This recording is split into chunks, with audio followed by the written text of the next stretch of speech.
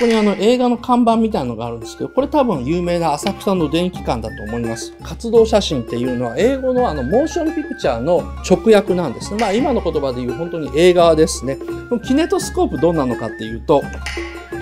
えー、エジソンの発明です。フランスのリュミエール兄弟っていうのは、このキネトスコープをですね、改良してですね、シネマトグラフっていうのを作りました。これをですね、知ったエジソンがですね、急いでこれはいかんと。俺が映画の発明者じゃなくなってしまうと思ったんでですね、アメリカでも同じように、ね、壁に映写する方式っていうのを作った人がいたんです。その人の発明の特許を買い取ったんです。バイタスコープって言います。この頃の時代のエジソンって、で、毎週毎週、今週の発明これですっていうふうに発表をやってたら、みんな、うわ、すごいって言って、それを新聞、翌週の新聞に間に合うように記事にしてたっていうですね、なんかもうやり口がもうほとんど炎上系 YouTuber みたいだったんですね、エジソンっていうのは。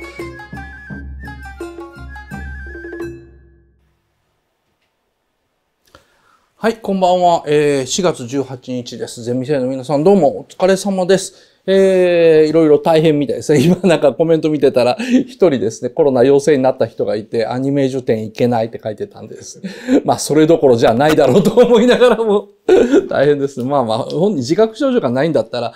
あの、いいんでしょうけども、なんかね、あの、本人も誰かに移したかなとかこう言ってるんでですね、え大丈夫であることを祈ります。えー、今日はですね、まあまあネタバレなしって書いてるんですけど、まあまあ最初の方はまあ緩めにやっていって、どんどん加速していこうと思います。えー、もう4月半ばですよね。ネットフリックスで、ガンダムの実写化が発表されましてですね、まあ、正直期待してるんですよ。あの、まあ、どんな風にいじってくれるかなと。あの、まあ、嫌な予感とかですね、や、あの、まあ、それはとか言う人もいるんですけど、ないのに比べりゃもうなんぼでもマシっていうですね、あの、先行のハザウェイの先行13分かな？もうさっき見てきたんですけどもですね、ななんかこう、うーん、なんか今更そのアニメで、なんかダークナイトとかですね、やられてもちょっとしんどいですよ。クリストファー・ノーランのなんかこうやられてもちょっとしんどいですよ。富野さんって思ってる身としてはですね、誰かがなんか変なことしてくれた方が逆にね、ありがたいなと思ってるんですけど、まあ、あの情報が出たらまたあの考察します。えー、あとですね、まあ、今週の、まあ、ちょっとあの、まあ、世間話なんですけど、4月の13日にですね、テレビ朝日系で、あの、林修の今でしょ講座の特別企画で、今アニメでしょプロが選ぶ日本のアニメの歴史を変えたすごいアニメ14っていうのをやってたんですけども、まあ、あの、放送のですね、1週間前にですね、いろんなあの、アニメ評論家にですね、電話かけまくったらしいですよね。あの、僕はこういう時のためにですね、電話回線っていうのをですね、あの、オープンにしてないのでですね、もう全部、あの、留守電の方に行ってですね、で、あの、メールでくださいということにしてるから、何も被害なかったんですけど、まあ、アニメ評論家のところに散々電話かかってきたみたいですね。あで、ただもうあの、テレビ朝日以外のアニメもちゃんとね、あの、使ってたというか紹介してたんで、まあ割とあのね、時代としてはいい時代になったと思います。えあとあの、川森くんのね、レゴ、つまり、えー、マクロスシリーズで変形を検討するために、あの人いつもレゴでなんかこう試作品作るんですけど、それがね、実物が見れたのはなかなかなか収穫でしたよね。それぐらいで、あとは特に何もなしというところです。えー、じゃあ今日一つ目行きましょう。お便りです。えー、ニューネッシーさん、30代男性。僕はウルトラマン派で仮面ライダーが好きではありません。ミニチュアもつけず、えー、ミニチュアも組まず、特殊効果もなく、着ぐるみだけ着て、えー、着て、空っぽで殴り合うだけの番組が特撮でございというのは悔しくて腹が立ってしまいます。いい、おっしゃいますね、なかなか。なので、ウルトラマンとかライダー双方について、自分よりもはるかに増資が深い安野さんのような人が、どんなことを考えてるか、とても関心がありますというふうなことなので、まあちょっと新ウルトラマンの話しようと思って、ここにネタバレなしって書いてるんですけども、あの、だってまあ僕の想像を今から話すわけですから、ネタバレじゃないですよね。えー、ふと思ったんですけどもですね、新ウルトラマンに関してです。新ウルトラマンに関してなんですけども、庵野秀明ってですね、企画脚本で書いてるんですけども、企画脚本はまあ必ずするってことです。で、その他に何をするのかっていうのを書いてないんですよね。で、まあ、監督、総監督とかはするつもりがないというのはもうこれはっきりしてるんですけども、出演するつもりなんじゃないかなというふうに僕思ってるんですよね。えー、っていうのはですね、アマチュア時代にその本人が出演してるからなんですよね。まあもうこれはもうマニアの方はよくご存知のですね、えー、庵野秀明版帰ってきたウルトラマンというやつですね。えー、まあ、あの、ウルトラマンが変身するシーンで庵野秀明本人になってしまって戦闘シーンやるというやつなんですけども、これあの、元々の企画がもうこっからなんですよ。出落ちっていうことはないんですけども、僕がウルトラマンとして登場するのはもう決まってますと。で、これを精一杯かっこよく見せるためにこの前後を考えてくださいというふうに僕が発注されてですね、この前後を考えてくれってことはもう安野が出てきて、まあまあまあ、それはもう笑っていいんだよねっていやもうここは笑って構いませんと。ただその前後でちょっと、こう、なんかこう、笑うだけじゃないと。笑うのはもうね、あの、ウルトラマンの作品で安野くんやってるんです。で、その前で、とにかく真面目に作ると。あの、本気で作るというか、まあ、あの、安野秀明がウルトラマンとして現れた時に一番驚くにはどうすればいいのかっていうふうに演疫法的に考えるわけですね。で、それまでの事件を、ま、本気で書くですよ。ももちろん、セットも衣装もミニチュアも全部本気本気で作ると。っていうのはね、それまでもあの、アマチュアが作ったあの、帰ってきる、あの、ウルトラマンとかウルトラセブンとかね、いろいろあるんですけども、みんなどっか逃げるんですよね。あの、ギャグですよ、お遊びですよ、パロディですよっていうような形で、どっか逃げるんですよ。ミニチュアで逃げて、あの、釣ってる糸丸見えにしたりとか逃げてたんですけど、それを全部逃げなくしでやったらどういうふうになるだろうかっていうことですね。で、もう、あのー、で、おまけにウルトラマンとしてあの秀明が出た後、ここでまたふざけるとダメなんですよね。あのー、なんでしょうね。あの、もっと密度を上げるべきである。逆に、その本気度を、安野秀明が出てからも、と、出演してる人物全員が、あいつなんだって言わずに、ウルトラマンだっていうふうに驚いてみて、で、ずっと延々やってると、なんかこう、観客は徐々に徐々に自分が何を見せられてるのか分かんなくなるだろうというかです。こ、こいつらふざけてんのか本当か分かんなくなるという、そういうなんかこう、飛膜論ですかね。なんかそういうですね、なんかふざけてんのと本気との合間みたいなところにウルトラマンっていうのは存在するっていう。やっぱあるじゃないですか。だってもともとが着ぐるみの怪獣が出てきて背中にチャックが見えてる、なんかこうウェットスーツみたいに着たスーパーヒーロー着た、スーパーヒーローがなんかどつき合うような特撮番組なわけですよ。で、それが好きで好きでしょうがなかったんだったら、僕らも子供の頃から、これが本気じゃないと分かってながら、本、本気じゃないな、本物じゃないと分かってながら、嘘と思いたくないっていう、その、薄い薄い皮膜の紙一重のところで楽しんでるわけですね。それをどうやって再現するのかっていうと、その、やっぱりその、ウルトラマンが出てからもまだ本気でやらなきゃいけないっていうふうに思ったんですね。でも、あの、じゃあ僕ね、あの、最初ね、ウルトラマンやるつもりじゃねえかなと思ったんですよ。だから、だからまたもや、あの斎藤匠ですか。斎藤匠が 変身したらウルトラマンが安野秀明っていうふうにやるつもりじゃないかなと思ったんですけども、無理があるんですね。っていうのはね、当時からしても無理があったんですよ。何かっていうと、これあの、当時の8ミリの映画のですね、もうワンカットなんですけども、わかりますかね？怪獣にウルトラマンがハイキックかましてるんですね。肩のあたりに。ハイキックやってるんですけども、安野くんの体反ってますよね。これなんでかっていうと、あいつ体が硬いんですよ。足がね、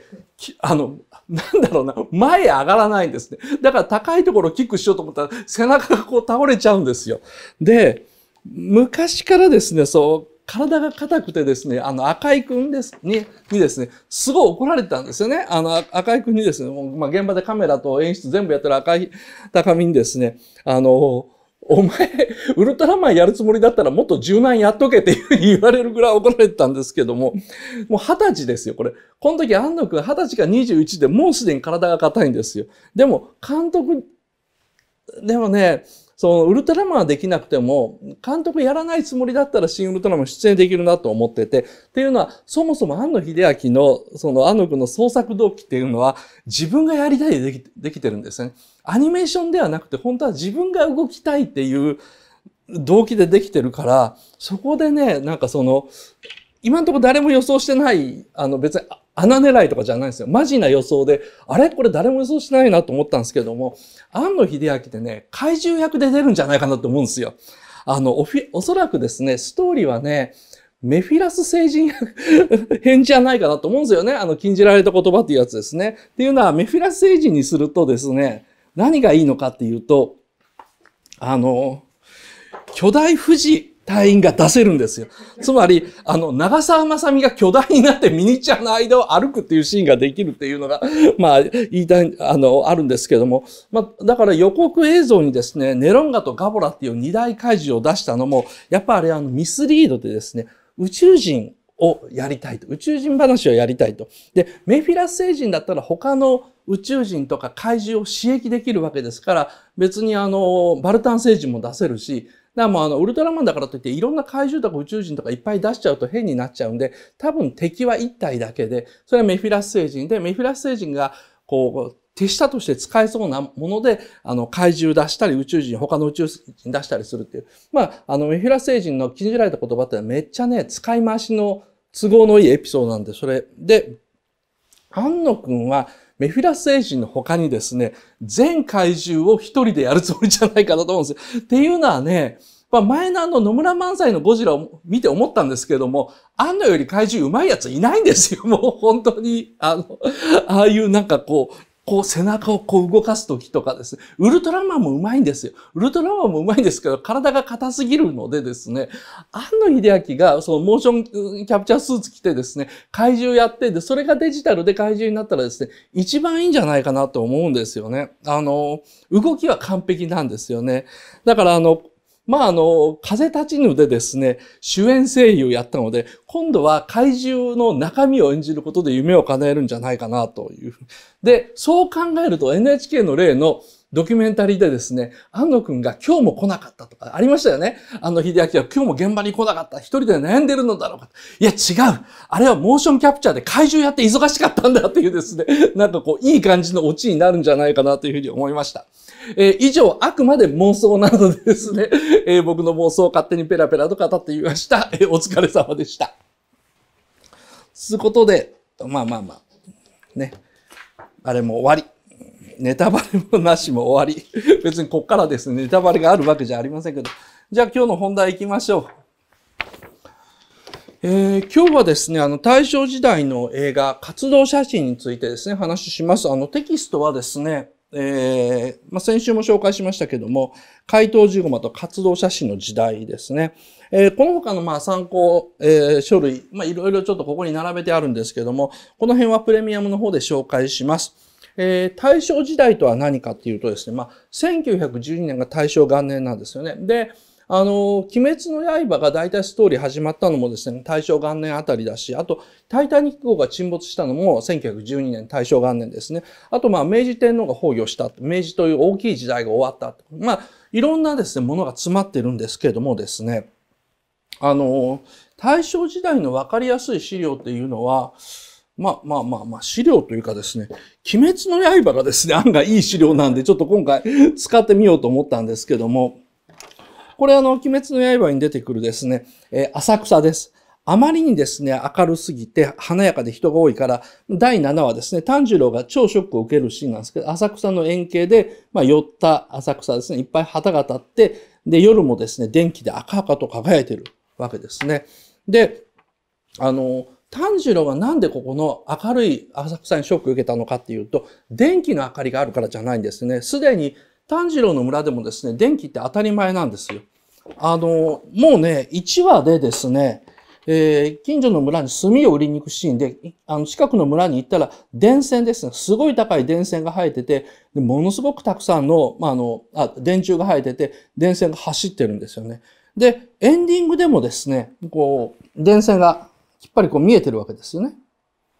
で、このエンディング、これ何やってるところかというと、街に向かって炭を売りに行ってるシーンですね。つまり、炭治郎の家と、あの、ふもとにある、あの、村の間にはもうすでに電線が走ってるんですよ。だから、すでにもう、村では電気が当たり前になって、もうあと何年か待てば、炭治郎の住む家の辺あたりにですね、電気が来てもおかしくないんですね。で、いやいや、そんなこと言っても、まだまだ、炭治郎が住んでるの山奥の一軒家まで電気なかなか来ないんじゃないかっていうふうに考える人いるかもわかりませんけど、これ後で話しますけども、大正時代というのはものすごい速さで電化が進んだ時代なんですね。ガス、水道は遅いんですけども、電気はね、すごい早いんですね。で、普及率もめちゃくちゃ高くなるんですよ。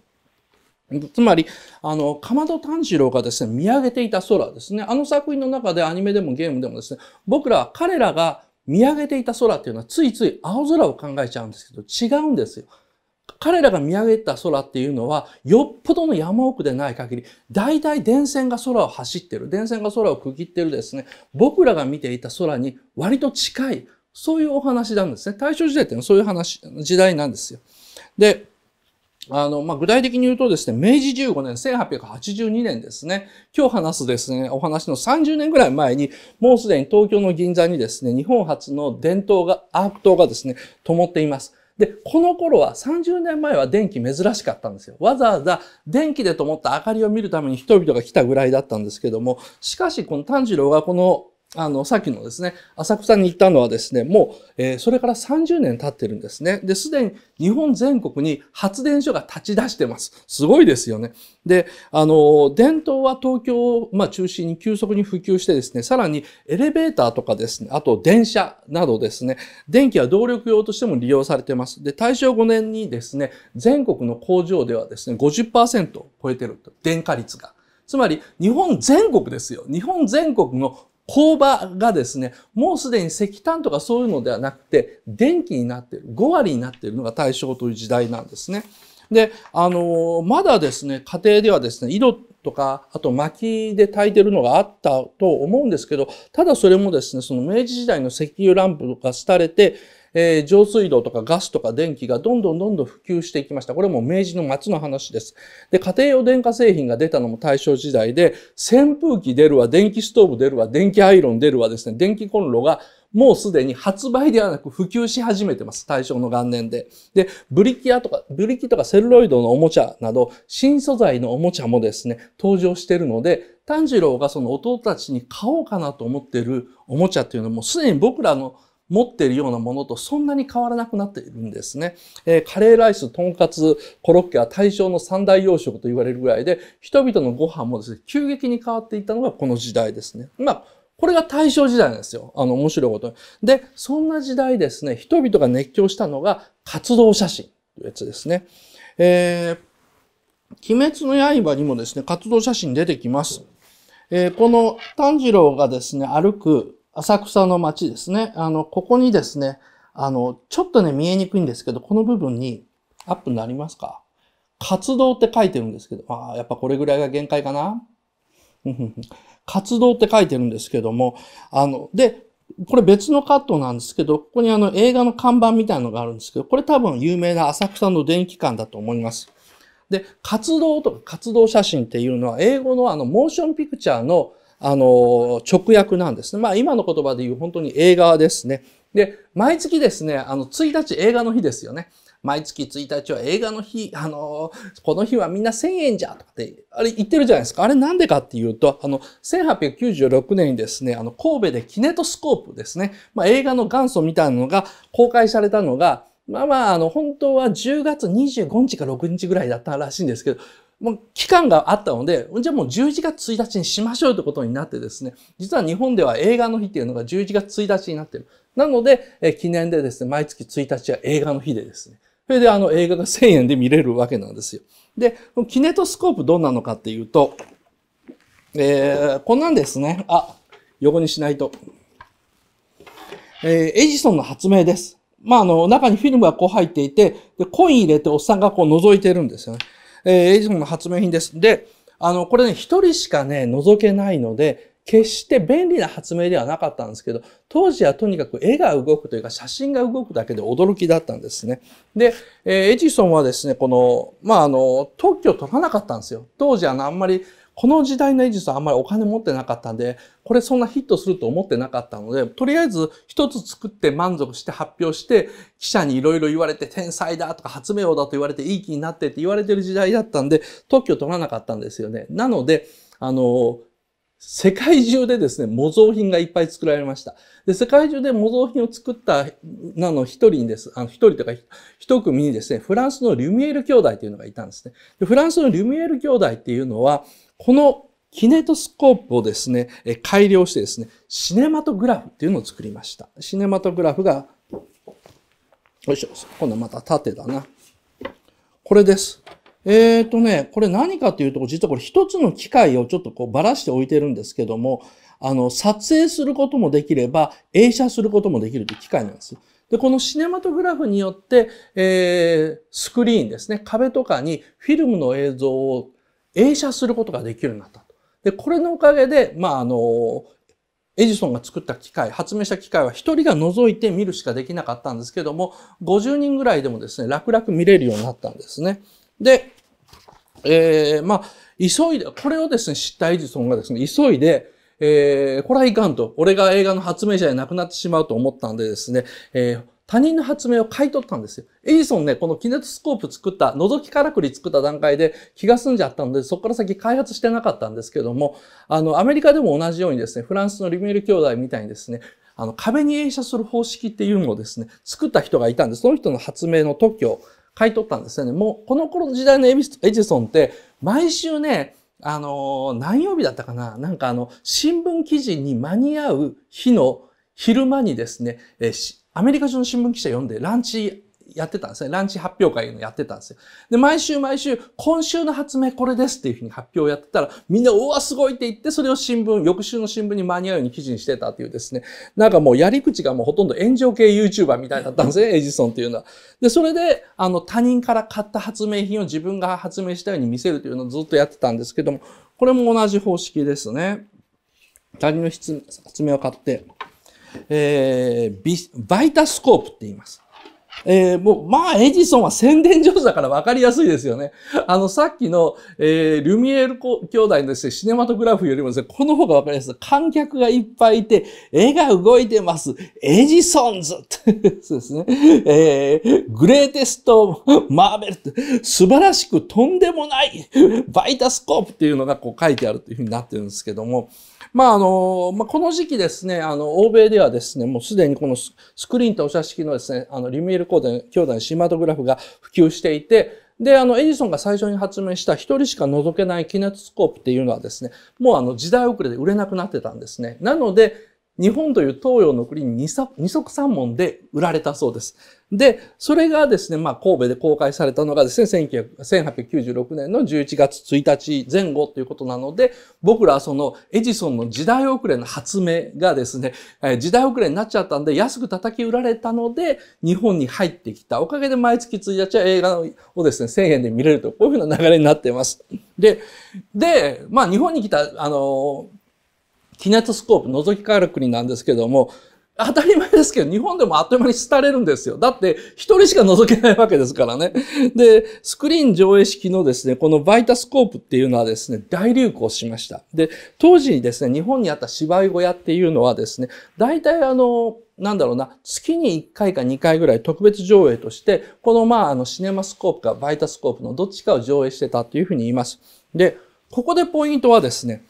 え、ちょっと待ってと。あの、キネトスコープはまあ流行遅れだから日本に輸入されたんだけども、日本全国で大体月に1回ぐらい芝居小屋やってるって言っても、そんなに映写機があったのかっていう問題とですね、そもそもどんな作品を上映したのかっていう問題があると思うんですね。で、まずはですね、映写機問題です。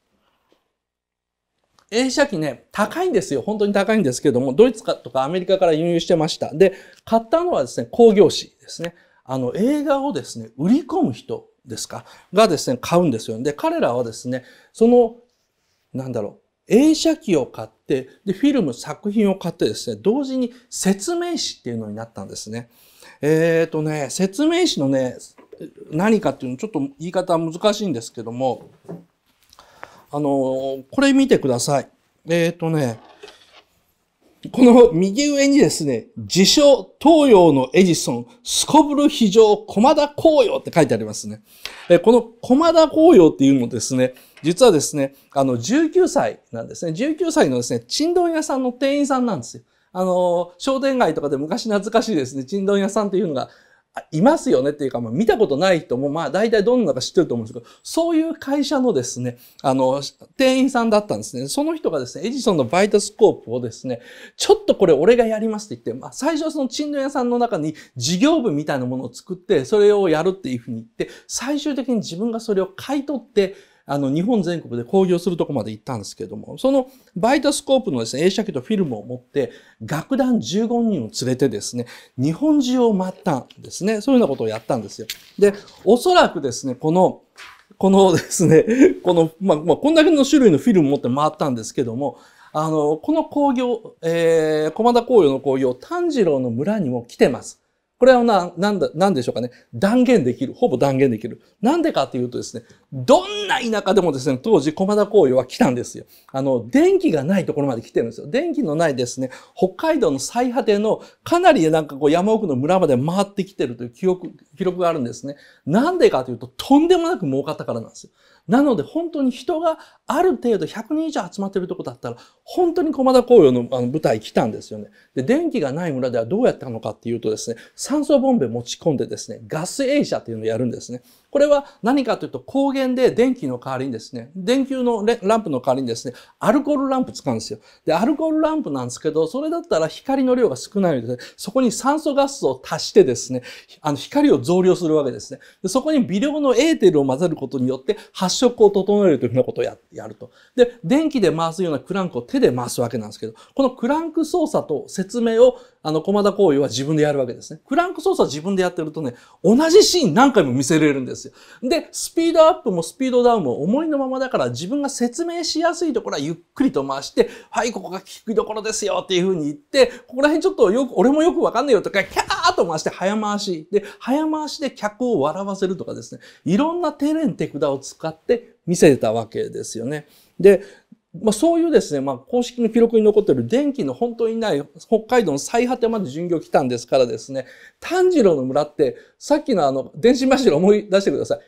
で、電気あるんですよ。電気のない村にね、あ、電気のある村にね、来てないわけがないんですよね。で、おまけにですね、駒田紅葉以外に、この駒田紅葉以外にもですね、あの、工業士っていうのは山のようにいたんですね。いっぱいいて。で、そいつらが日本中ぐるぐるぐるぐる回ってたんですよね。で、上映作品は、これで説明するとですね、まず一番塗りになったのがこのカッポレというやつなんですけども、あとこの右上の方にあるですね、えー、三井呉服店、三井呉服店ですね、銀座の三井呉服の本店が大繁盛しています。あとね、なんかこう、えー、すこぶる非常なる宴会っていうのがあるんですけど、これがね、あの、まあまあ、えー、割とあの、人の呼び水になったと言いますね。えー、この三つですね、当時の日本の風俗とか風景ですね。で、一番下にあるですね、あの、芸者の手踊りっていうのがあるんですけど、これなんか日本初の商業映画と言われて、駒田光陽自身が金出してカメラ買ってですね、すごいですね。多分この時駒田光陽22歳ぐらいなんですけど、金出してカメラ買って自分で撮影してですね、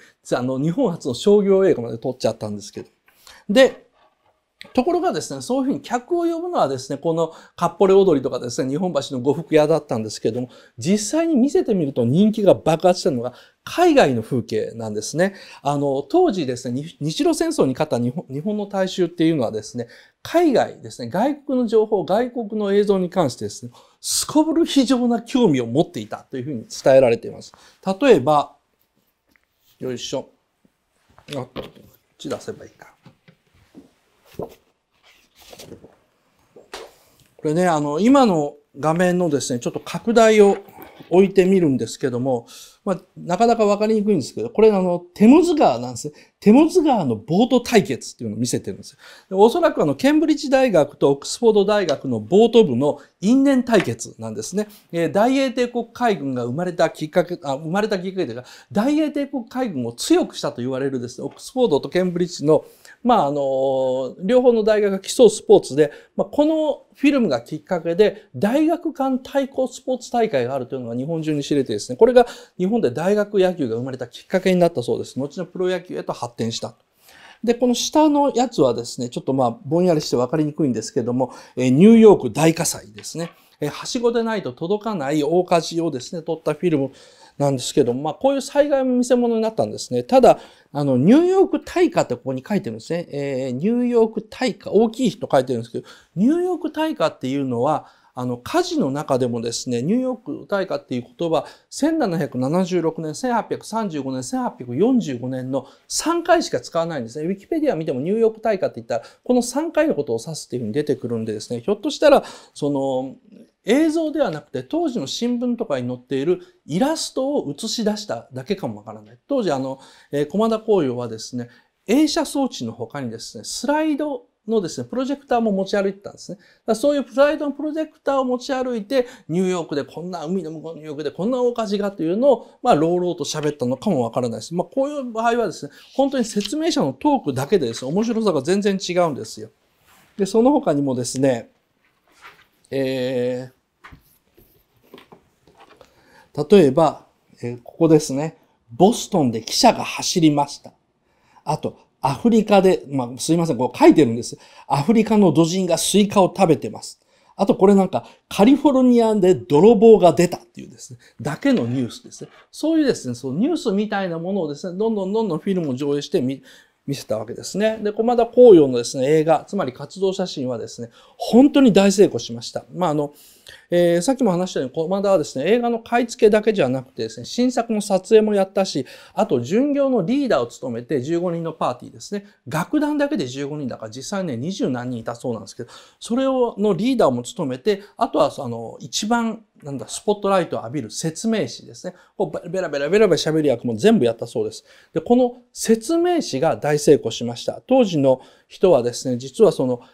あの、映画じゃなくてコマダを見に来るというふうに言われましたね。あの、まあ、現在の声優ブーム以上です。今もいますよね。声優さんによって見る作品決めるとかですね。この作品誰それちゃんがやってるから見るんだっていうのがいるんですけども、あれの走りみたいで、コマダ紅葉が喋ってるんだったら、前見たあの映画つまんなかったけど、もう一回見に行こうというふうにみんな言ってしまうような、そういう存在だったんですね。で、えー、得意文句があってですね、すこぶる非常にってよくしょっちゅう言うんですよ。本日はすここぶる非常に皆さん、わざわざすこぶる非常に遠いところを、すこぶる非常にご来場、すこぶる非常にありがとうございました。このすこぶる非常にのが受けて新聞記事になって自分のキャッチフレーズにもなったので、もう何回も何回もすこぶる非常にというのを使うんですね。そうするとまあ当時の知識人とかはなんかちょっとうざいというふうに言ったんですけども、なんせこうベタなギャグをずっと言ってくれるもんだから庶民に大喜びですね、大人気だったんですね。で、えー、駒田光陽は自分のことをですね、すこぶる非常大博士というふうにですね、えー、自分で言いあの言い出しますですね。えー、あと、どこ置いたかな？あった。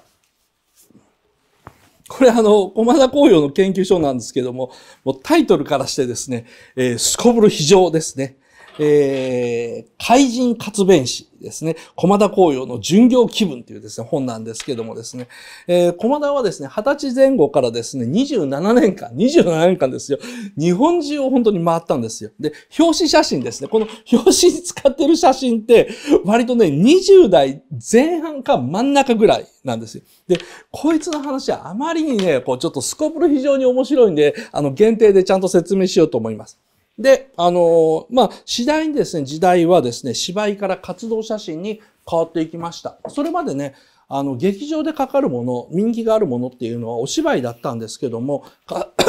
活動写真変わっていきます。で、さっきも見てもらったあの、鬼滅の刃の浅草のシーンなんですけども、あの、大体あの、これあの、えー、っとね、ねずこと一緒に浅草行ったから大正元年ぐらいなんですけども、浅草はもう、これ旗いっぱい立って芝居小屋に見えるんですけども、すでに芝居小屋からですね、その映画館に改造したところが多かったんですね。で、時代劇のチャンバラをやるよりもですね、あの、そういうのを芝居小屋で見たいという人よりもですね、現代物が見たいと。特に金色夜叉が明治の末に流行ったんですよ。金色夜叉って知ってますか？あの、なんだか、寛一お宮というやつで、お宮っていう女がですね、ダイヤモンドに目がくらみって言って学生服着たらですね、寛一にですね、話せとかって言われて、あれ、私を捨てないでって、お前な、みたいな女もう嫌だっていう、現代物ののドロドロですよね。それまでの江戸時代のお芝居っていうのは、その、あの、お父さんの仇を撃つ娘さんみたいなものだったのが、いきなりダイヤモンドに目がくらみですよ。熱海の海岸散歩する寛一お宮の二人連れだったかな。ちょっとあのメロディーがいい加減なんですけど、こういう歌がですね、大入りした、そういうドロドロの現代劇っていうのをみんな見たかった頃なんですね。だから、そのチャンバラがどんどん古くなったんですよ。で、今みたいにおじいちゃんおばあちゃん昔のものを見たいっていう時代じゃないんですよ。明治の末から大正っていうのは、日本国民全員が新しいものだけ見たいと思ってるんですね。もう本当にみんな YouTube ばっかり見てる若造みたいな、そう、日本国という状態だったんですよね。で、だからその当時ヒットしたのが、例えば僕も調べてびっくりしたんですけど、アントニーとクレオパトラがですね、映画になって日本に来て流行ってるんですね。ありえないでしょ。だって、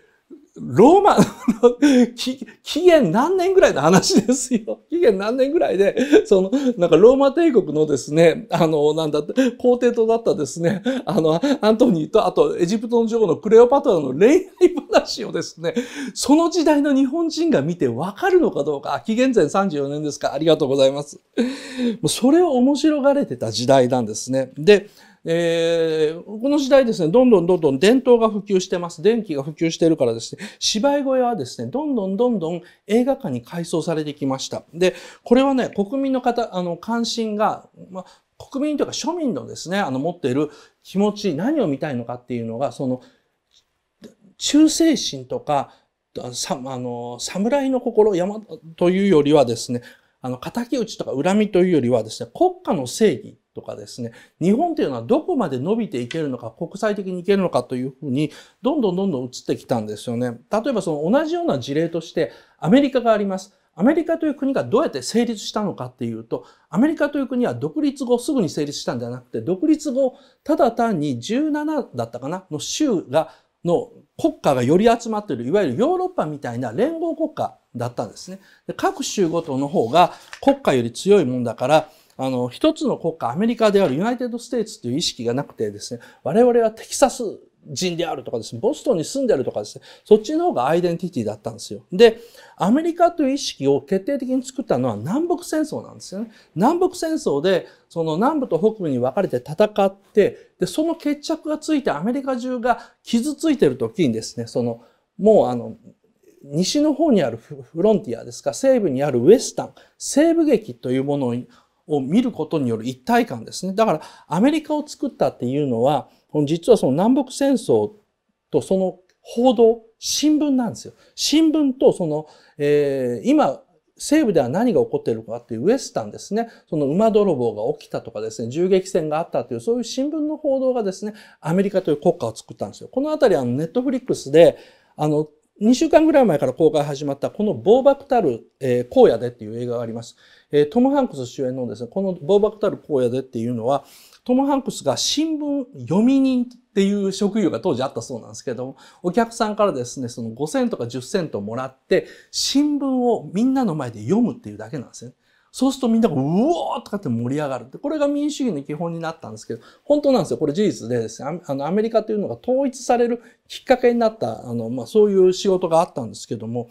日本もね、時期がずれるんですけど、これと同じようなもんでですね、日本という国がおそらく一つになったのって、明治維新じゃないんですよ。逆でですね、明治天皇が死んだことなんですね。明治天皇が死んで、日露大戦に勝ったことなんですよ。で、で、これらの日、あの、明治天皇の葬式っていうのはフィルムに撮られて、で、それで日本全国で映画館でかかってるんですね。で、日露戦争に勝ったのもやっぱり、あの、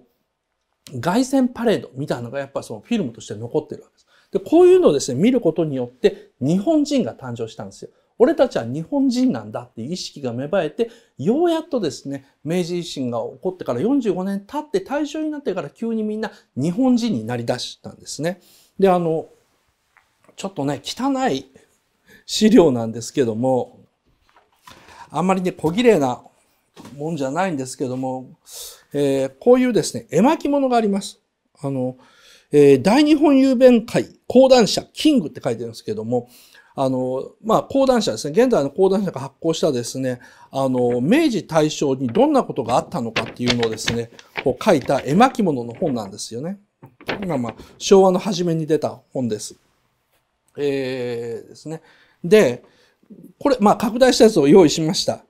えー、で、まあ、大体その当時、日本人が明治時代どんなことに関心持ったのか、どんなことが国民的な、あの、ニュースだったのかというのがあるんですけど、まずこれ、明治33年、提灯行列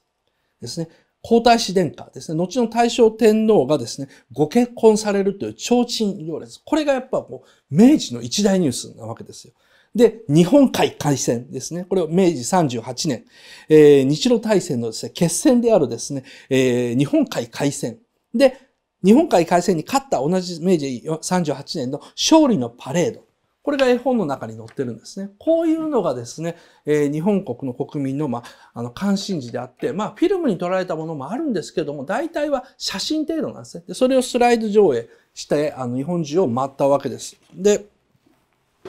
で、同じキングの絵本の引用から続けます。えー、成金時代ですね。人々はどんどんどんどん金が儲かる人は儲かるようになって狂ったように金を使い出したということが載っていると。そうかと思えばですね、南極探検成功、知らせですね、知らせ。あ、南極探検こっちだ。こちら側はですね、あの、日本人で初の飛行機飛ばすことに成功したっていうですね、記事があります。で、あと、えー、ハレー彗星観測に成功。千里眼の女性が現れるですね。こういうのがあります。え、日本が繁栄してですね、まあ、強国、列強と肩を並べて飛行機は飛ばすし、南極探検は行くしですね、同時に千里眼などですね、新時代のオカルトなんかも入り出すという時代。これがもう明治の末だったんですよね。えー、千里眼をですね、あのちなみに、千里眼でですね、発見されたというですね、三船千鶴子って女の人なんですけど、これは後にあの、リングシリーズの、あの、貞子の、まあ、ご先祖様として、えー、元ネタになった、本当に実在の人物なんですけどもですね。で、この、えハレー彗星と三船千鶴子千里眼の右にあるですね、あの、佐久間定長の殉職といって、ここで男の人がね、倒れてるのがあるんですけど、これ何かっていうと、今から101年前のですね、4月15日ですね、えー、明治43年です。広島湾でですね、あの、公開訓練やってたですね、第6潜水艇、当時もう日本潜水艦持ってたんですね。第6潜水艇が沈没したんですよ。で、その時ですね、艇長のですね、佐久間務大尉はですね、死ぬまで、つまり息が絶えるまで本当にですね、状況を克明に日記に書いてたんですね。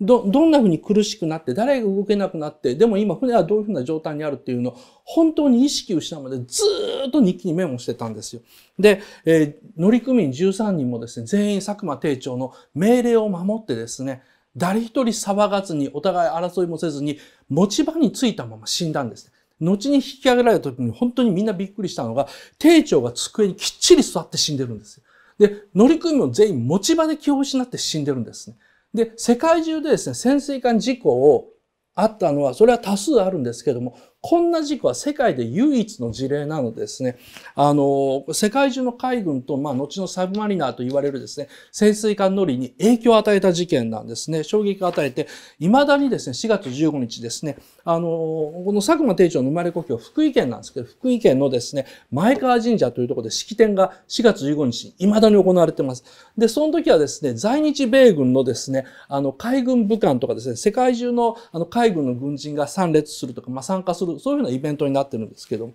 そんな大事件なんですよ。で、同じくですね、この本の中で、明治の大事件に数えられてるのが、このような事件と同じになっているのが、右、この左ですね。ジゴマ流行って書いてるんですよ。えー、鬼滅の刃の舞台となったですね、大正時代ですね、人々がすこぶる非常にですね、すこぶる非常に恐怖したのは、実は鬼ではなかったんですよね。えー、怪盗ジゴマだったんですよ。見よこの返本とあの、旗に踊るですね、ジゴマ、Z 弾、ニック・カーターというですね、何のことを言ってるのかわからない。この文字は何なのかですね。えー、炭治郎の世界ですね。つまり、あの、田舎で炭を焼いて、で、ま、あの、村に持って行って、みんなの温かい話で守られるというような生活っていうのは、実は大正時代、もう失われつつあったんですね。あの、都会から伸びていく電線とか伝統で終わりを告げつつあったと。だって、炭をもうどんどん使わなくなっていく時代なんですよ。だから、あの、1912年ですね、明治天皇が崩御してですね、年号が、まあ、あの、明治というですね、時代が終わりました。で、この時代ですね、日本の半分近くがもう実は電化されようとしてるんですね。炭治郎の炭はもう本当に売れなくなってきてるんですよ。で、同じ1912年ですね、あの、言語が対象と変わってですね、時代をは、まあ、始めたのはですね、タイタニック沈没、タイタニック号が沈没したという大ニュースなんですね。そうなんですよ。この時代というか、この1912年という年にタイタニック号があの沈没してるんです。大西洋沖で沈没してるんですけども、それはまあもちろん日本でも大ニュースとして伝えられたんですけども、でも、それよりも大きいニュースになったのが、この怪盗ジゴマなんですよ。日本中を熱狂の渦に叩き込んで、ついには禁止令まで出たんですね。怪盗ジゴマのですね、すこぶる非常なですね、大大大大大流行というのがこの時代にありました。というですね。えー、ということですね、今日は無料講義、これにておしまいですね。続きは限定にてお増し申し上げております。すこぶる非常にですね。えー、無料ここまでです。えー、まあね、あの、一応ですね、限定でどんな話をするのかっていうと、やっぱね、これを見せときたいんですよね。これですよ。駒田紅葉とかですね、駒田紅葉。天上天下唯が独尊って自分で言ってるんです。天上天下唯が独尊。すこぶる大博士、駒田紅葉ってですね、このド派手なポスターを自分で作ってですね、これよく見てください。あの、日付のところですね、空白になってますよね。つまりこれって自分で作って自分でばらまいたんですよね。で、それぞれの都市の関係者の方、えー、そっちで書いてくださいってですね、もう、あの、配布用のですね、な、なんでしょうね。プレスキットみたいなもんなんですけどもですね、この駒田紅葉というのはどんな人か、そしてようやっと最後で登場しましたですね、怪盗ジゴマっていうのは何かですね。実はですね、ルパン三世とか名探偵コナンの元ネタでもあるし、あとね、多分ね、もうみんな知っているある作品の元ネタなんですよ。でも、それが元ネタっていうのは言われるまで本当に気がつかない。ああ、なるほどって僕も思いましたですね。あとは、まあ、もう一つですね、えー、限定で話すですね、えー、禁断の歴史があります。これもね、僕今回話せるのが嬉しいんですけども、えー、1969年のですね、少年マガジンの大図解なんですけども、これ何かと。実はですね、あの今あの映画の歴史っていうのが最新の研究で書き換えられつつあるんですね。それまでですね、あの、アメリカのエジソン、フランスのリュミエールがですね、映画の、あの、まあ、先祖だというふうに言われてたんですけれども、それよりもですね、100年ぐらい先に日本で公開、興行されていた世界初のですね、まあ、アニメーションであるですね、ワイドスクリーンアニメーションである写し絵というのは何なのかですね。えー、あなたの知らないですね、えー、禁断の映画の世界の歴史をですね、すこぶる非常にですね、大解説しようと思います。えー、ということでアンケート出してください。人形浄類っぽいな。いや、もっとすごい。本当にこれね、面白いよ。はい、えー、まあね、今日は、いや、話すことが多かったから早口になっちゃったんですけどもね。インドネシアの影絵もそれっぽい。そう、影絵にも見えるでしょ。いや、ほんと日本人ってすげえよって思ったんですけどね。じゃあ結果出してください。スコブル非常に気になります。ありがとうございます。スコブル非常に良かったです。ありがとうございます。もう本当にね、この駒田紅葉ってやつはデタラメで面白いよ。とにかくね、俺あの思うんだけども、明治時代のユタポンだよ。実行力のあるユタポンで、なんかね、15歳ぐらいで家出してアメリカに行ってっていう。